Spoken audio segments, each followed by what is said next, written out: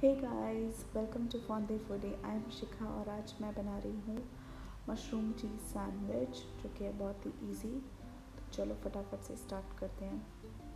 एक लिया मैंने पैन उसमें मैं two teaspoon refine oil add कर रही हूँ।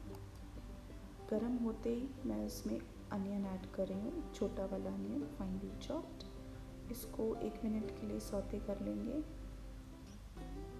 और अब इसमें मैं ऐड कर दूँगी फाइनली चॉप्ड गार्लिक दो मैंने कलियाँ ली हैं गार्लिक की। इसको हम थोड़ा गोल्डन ब्राउन कर लेंगे।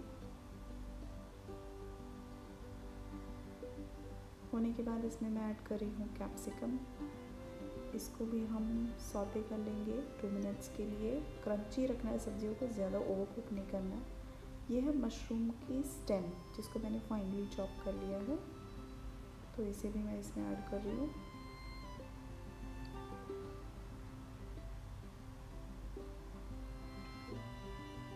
सब मिक्स होने के बाद I am adding black pepper powder now थोड़ा सा mixed herbs chilli flakes according to your taste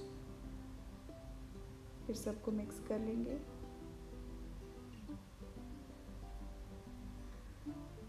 दो मिनट के लिए बस इसे मिक्स कर लेंगे अच्छे से। फिर मैं इसमें बटन मशरूम्स ऐड करी। कुछ पाँच से छः लिए मैंने ये।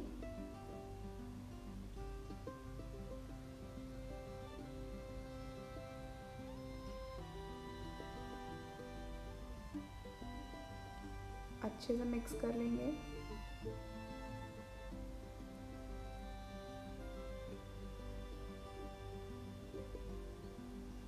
अब मैं इसमें केचप ऐड कर रही हूँ। अगर आपको सॉल्ट ऐड करना है तो आप इस स्टेज पे ऐड कर सकते हो। मैंने सॉल्ट ऐड नहीं किया है क्योंकि ज़रूरत नहीं पड़ी केचप ऐड कर दिया है तो।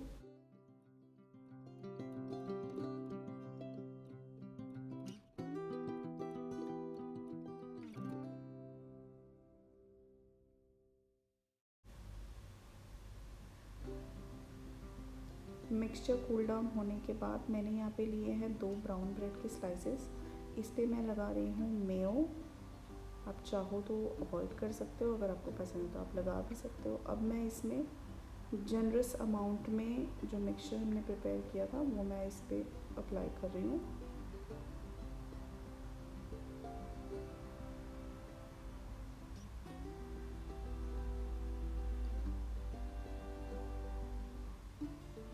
नाउ, एक चीज़ स्लाइस उसके ऊपर थोड़ा सा शटर चीज़ अगर आपको चीज़ पुल पसंद है I am not a big fan of cheese pull but if you are तो you can use mozzarella cheese that will give you the perfect result अब इसको मैं टोस्ट कर लूँगी। तो मैंने बटर अप्लाई कर दिया है।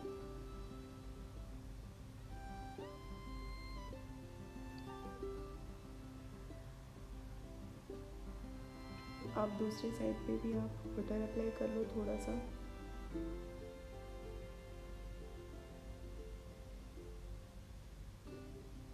और अब हम इसको पलट देंगे। आप चाहो तो सैंडविच मेकर में भी बना सकते हो। टोस्टर अगर आपके पास है तो उसमें बना सकते हो और थोड़ा इजी हो जाएगा। And the sandwich is ready give it a try guys and let me know how did you like it. Um, if you've liked this video click on the like button and share this video with your friends and family. I'm going to see you next in my another video. Till then eat live and love. Take care. Bye bye sorry guys one more thing. If you don't like mushrooms you can replace it with paneer